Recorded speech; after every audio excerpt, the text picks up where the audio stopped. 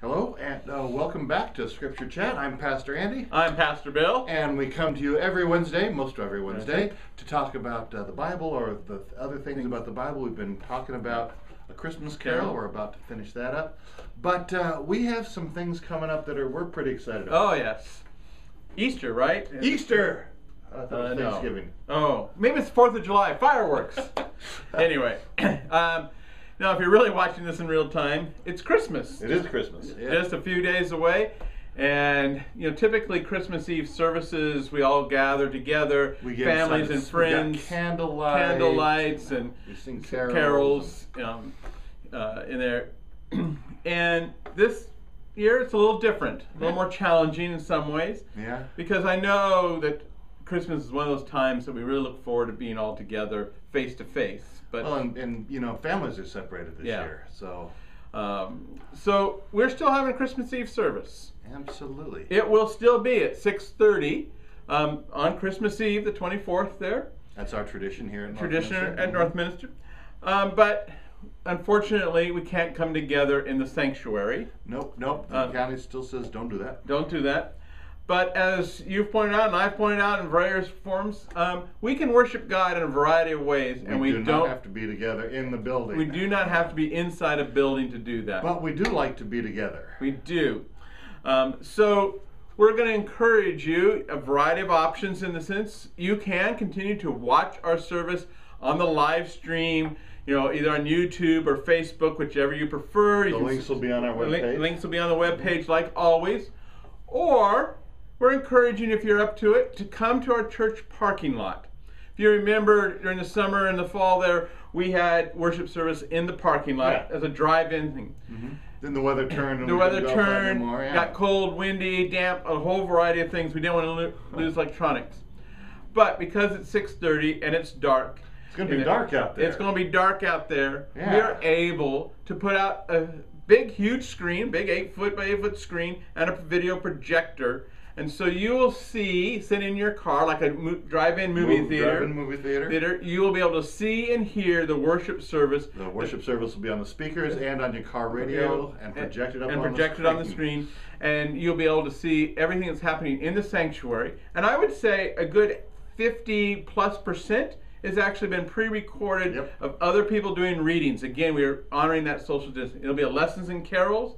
And so the scripture passages have all been pre-recorded out you'll be able to see their faces anyhow um, whether it's live And you'll be able to sing your Christmas carols, in Carols- your car. If car. you want to open your windows, you can listen to each other. Right. Might be cold though. Wear a sweater. Right. um, and you can sing as loud and whatever key you choose um, that way. Um, and there's a few other little cool things. Um, Andy will, along with the singers, um, come outside actually. We're gonna join Um, you. join you for uh, for the final um, carol And there. we have uh, fireproof Fire- candles. we have some fireproof candles, so you will not burn down your car. But we will still have the candle. and we'll still have that candle lighting beautiful. happening. Um, and tell your friends and family, um, and invite them to come Mm-hmm. in their vehicles. Each family unit that lives together in their own cars. Right. Keep safe, keep separated.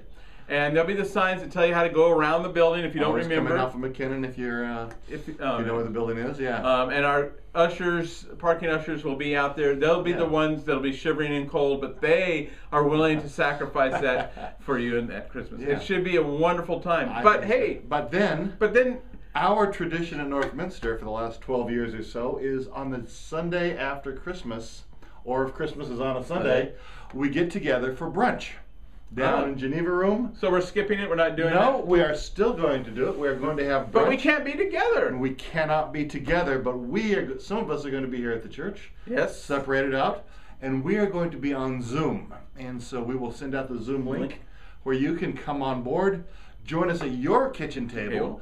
wearing your pajamas, and uh, we will have we'll sing carols. We will have some time for you to share some stuff that you've done around Christmas and how you're feeling this year. A sermon, of course, because we have to do that. Uh, and uh, it's going to be a wonderful experience. Now, I have always invited people to wear their pajamas to our to our Yeah. brunch on uh, the Sunday after Christmas, and a couple of times people have. Mhm. This time Right. you can because uh, you don't even have to leave your house. Still need to be appropriate pajamas. Yes, but we will not be in the parking lot. We won't be broadcasting that day. Yeah, there'll be no broadcast. It'll all be from All Uh, on Zoom. All on Zoom. And if you're not a Zoomer, you'll still be able to watch it on still live stream, stream. it. You just won't be able to. right, so you go to the in, website. yeah. Um, you won't be able to give your two cents in of your favorite carols or whatever. Right. Very good. So we're just looking forward Uh, yeah. to that. But uh, why don't we get into the end of the Christmas, Christmas Carol? Carol. So we had the ghost. Well, first we had Marley's ghost and the Right. knocker. The ghost of Christmas past, a little candle thing. The ghost of Christmas Present. present, always Away. joyful and everything was in the moment. Right. And then the Phantom. Dun dun dun. the Phantom. What's, how, how Is it Phantom on the? Opera? No. It's, Uh, it's the Phantom. It's the Phantom. Yeah. The Phantom arrived. The. Phantom arrived. The Phantom just rose slowly, and he didn't say a thing. Yes. And he just. Oops, I'm on the wrong stay. The phantom slowly, gravely, silently approaches. yes. When he was near, Scrooge bent down to his knees, for in the air was thick with the spirit that seemed to shadow the gloomy and mystery. Hmm. And this ghost, this spirit, this phantom, doesn't say a word. Speak to me, says Scrooge, and yet the spirit just points. through his dark clothing. Yes. And he points at things that are happening that are going to be in the future. And you can't even see his face. No, he's just this, just this malevolent. You don't know what the future holds, so it's frightening. For those of you who have read some Harry Potter, think of the Dementors. Yes, absolutely. um, so we say, why doesn't the spirit speak? Why does he only point that creepy finger? Um, Well, that's an interesting ponderment. Um, my sort of thought that comes around that is if he speaks, then he's giving an opinion or a perspective, yeah, and Scrooge isn't learning or filling his heart with the knowledge in there. Um, think about it. When you describe something, a story, you know, maybe it's a hike or an event that's happened, you put in your perspective. There's no way of truly doing it by neutral, being Right. neutral in it. You're going to somehow say, "Oh, the blues were like blues ever before." And you're going to somehow start to put an opinion in. and and the future hasn't been written yet, so you can't speak of Think the of future. future. The ghost of the future, Christmas yet to come, can't say anything because it hasn't happened yet. Right. And um, you know, so he sees all these horrible things. This, he sees the people laughing about somebody who died. He doesn't know who it is, and they just laugh it off. I'll go to the funeral if there's lunch. Right. My philosophy. I mean, And um, or then the, the the people in the pawn shop yeah. bring the bed curtains. They ripped the bed curtains down while I was still on the bed. Bed. Oh my gosh, they They're still warm. no respect for him. You know, Yeah. no, he still doesn't know who this person is. Um, and then he gets He starts to wonder who. yeah, who is this What are these events? And, and then he- they get into this. They go into Tiny Tim's house, the Cratchit house, House. Right. and everybody's quiet and sad. Somber. And Bob comes in with his shoulders empty. Where's Tiny And Tim? Tim. Well, he's in the grave. You know, he would have loved it. You know, Right. and they're trying to put on a brave face because Tiny Tim, for lack of medical care, doesn't live. He doesn't have enough money. And then the gravestone at the end, you know, with his name That Ebenezer famous Scrooge on Scrooge. that that untended gravestone So- because nobody cares about him anymore. Right. But you know what's interesting? On that gravestone, it's been neglected, but there's no dates. Oh, really? I didn't remember that. Yeah, there's no dates. There's no birth or death date Mhm. in there, and it maybe it's partly because yes, we're going to die. We're all going to die. Well, we don't know when. We don't know when. We don't know that time, that hour, and that. We don't know when in the future, and so It's not written yet. it's not written. And so is that part of just Scrooge saying, "You have a chance." Yeah. You can change the things. You will not have to be like this. Right. You, we know you're going to die. Die. That's inevitable. But uh, do you have the date? Date. We don't know the date. And so he starts to change. Change. And then he wakes up. Yeah, well, the change starts to happen in that heart. Right, right. Yeah, his heart grew three times the size of that. Um, and he turned green? No. he hears, no. We're getting way off track here. but he wakes up and he sees that everything is his. Is. It's still there. He's still- He's feeling around and Almost like nothing happened, nothing happened. but something did happen. Right. And he hears the bells and he says, It all happened in one night. Night. He sticks his head out the window. What day is it? Right. It's Christmas. They were able the to do it. spirits it. did it in one night. And I just love the way he's so giddy, like a Yeah. school child. I'm as light as a feather. I'm as happy as an angel. Yeah. I guess angels are happy. I am as merry as a schoolboy. I am as giddy as a drunken man. and he's just so excited that he's had the chance to see all these things things. happen and that things can change. Change. The future is not written. Yeah, so some of that joy, I think, is the fact that not that it's the joy of Christmas, but the joy of, for lack of a better term, a second chance. Yes, he has that hope. That, That hope. hope we saw at the beginning. Mhm. He's got that total Total- second chance to retry. Right. Do it again. Again, Um, yeah. right. Yeah. And he does. It goes through. he meets up with the uh, the portly man of giving him money. Right. It's just, it- I, he whispers in his. We don't even know how much, much. it is, but the man just about falls on the ground. um, he gets the turkey. I guess he gets the turkey first, but I oh, mean, yeah, yeah. and And, then- it says the turkey not only carry it, oh, take a cab. It's too big of a turkey. I mean, Yeah. the man is so generous with his money all of a sudden. yeah. Yeah. Of course, I might be a little timid, going, "Is he going to stiff me for this or whatever?" You know, is he nuts in that?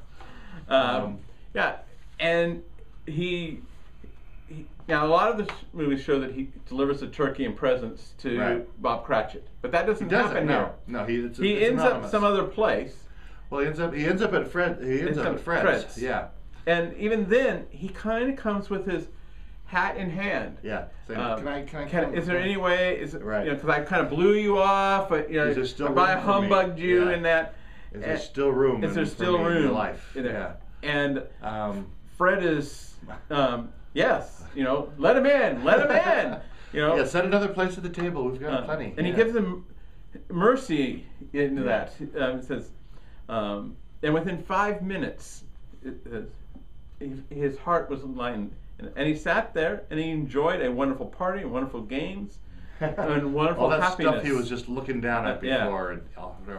and then In- comes the day after Christmas. Yeah. And he gets, he gets, it says he gets in as extra early, Really, and he sits Just at in his case. desk in the dark. yeah. And, then it's- Bob it Cratchit comes chimes, in. it- a but it's little bit late. interesting. Here, here are three chimes. Yeah. The tolling, in that the tolling of the nine o'clock, the tolling at the quarter hour, and Ah. it's, and it's the tolling at the 18th minute. Uh huh. Bob shows up. Three. Hmm. Hmm. I don't know. Again, I don't want to get into mathematical equations Right. and problems in that with variables, but it, there is this happening to it, and and calls him into his office. And if I was Bob, I'd be shaking I- in my boots. I'm going okay. this well, is the end of my job. in my job, this, I've been. and yeah, and he starts off with this horrible, like he was before. before. But you can mm. probably hear just the twinkle in the back of his yeah, eye. Yeah. He's probably having to hold it back into there. Yeah, and then he says, "And put another scuttle of coal on the fire and get this place warm." Well, and all right, therefore you're late. I'm giving you a raise. yeah. Okay, I don't know any employer in my history. I don't know about you. Not my That is history. ever that you're late. Therefore, you get more money. yeah. It'd be a Um, nice, good Christmas tradition. It'd a nice tradition. Yeah, yeah.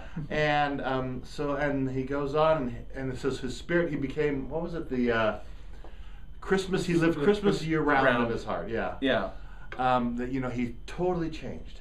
yeah. And there's no better person that kept that spirit Right. In there. Um, and he still he still made money. Money. He still Well, we assume that because he's able to He's continue. able to continue. You know, I think of uh, somebody like Bill Gates and Melinda. Mm, mm, The, the the amount of money they have, and they just spend it. yeah. They don't hold on to it. They, they just keep spending Spend it. Um, how do we live our lives? Do we live our lives with that bah humbug, especially this year? Right. You kind of look at Christmas and you go, ah, humbug. Yeah, but I look at the the overwhelming. Yeah, we see in the news the overwhelming lines for Yeah. food banks and toy drives and stuff like that, and, and miles and miles, and people talking about three, 400, 500 times the amount of people in that. Right. Um, but I also look at um, people who've gone above and beyond who says, I have something in there. Um, there was a couple that I saw on the news that, that um, went to Costco and bought out practically all the socks Ah, in there. And they says we don't, we're spending every last dime in our savings to Ah. buy socks. ah, Um, and then they went to the streets. This is actually in Canada, um, and they went. I think it was Toronto, uh, but don't quote me on that. And they went and and Just passed out socks. socks. to all the homeless people Wow. in there. Yeah. Um, the socks were all bundles in three groups of 3 or Uh-huh. five, something like that, and just passed these socks. And they, and they went to the encampments, Huh. you know, um, and, and just passed them out until they were done Till with. they ran out of Till they socks. ran Yeah. out of socks.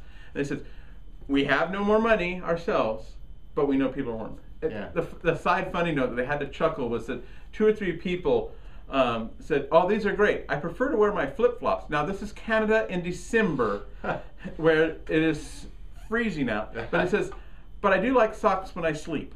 So. and they never showed any of the, the passing down of that. They And- showed they drive up, but and but it was cold in Canada. Yeah. Um, um, it's it's those little things that, uh, and and I have to think about my mom and her growing up at the end of the depression, and, and a Uh-huh. lot of people are in that thing, where um, the depression hit hard, and people got to thinking of savings. Right. You know, and we save for the rainy day. Um, and don't get me wrong, it's not that we shouldn't in that, but is this a rainy day today? Um, will it hurt if we pay for someone's dinner at a? well, what was it I heard about Um, at a drive-through? For 90 minutes, everybody paid for the car behind them. Yeah, yeah. They kept paying for the Yeah. one behind, the one behind, type of a thing. And uh, but, well, you know, looking at the book, we go, we look at our past.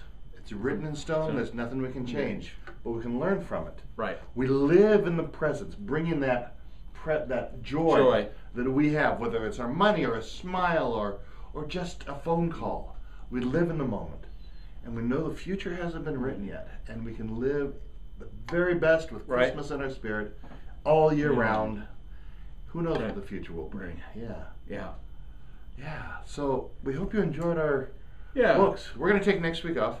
And We need a break. I'll give you a challenge for next week. Um, you don't have to make your own video and then watch yourself, but maybe take um, that day. It's almost New Year's Eve, it's the 30th, Mhm. um, which is a great day in history.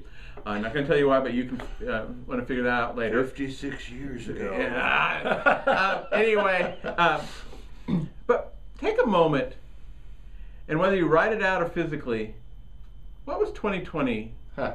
The joys. Yeah. I'm talking about the joys in 2020. What were the joys? We harp so much and see the pictures of first responders and food lines and Yeah. protest marches that got out of hand and a variety of looting and all and murders and all this in there. But and the the news joys just that- splattered with it. Yeah. But what are the joys? Yeah. What are the joys of 2020 that you would write in your memoirs of, uh, in there? Yeah. um, it. And let that be your time, video, whatever you normally do Right. next and, Wednesday. And if you want to send it to us, we'll take a look Yeah. at it. And uh, yeah, we'd love to hear from you. we'll proof it And and then, decide uh, whether it's joyful. No, um, we'll, we'll get back to you, to you. on Epiphany, Epiphany. which is uh, the Feast of the Three Kings. Kings. Uh, that's on the 6th of January. January. We'll be back with you. yeah, 12 All right. days. Well, we'll see you on Christmas Eve, we hope, whether in the parking Yeah. lot or online. Right. And have a very Merry Merry Christmas. Yeah.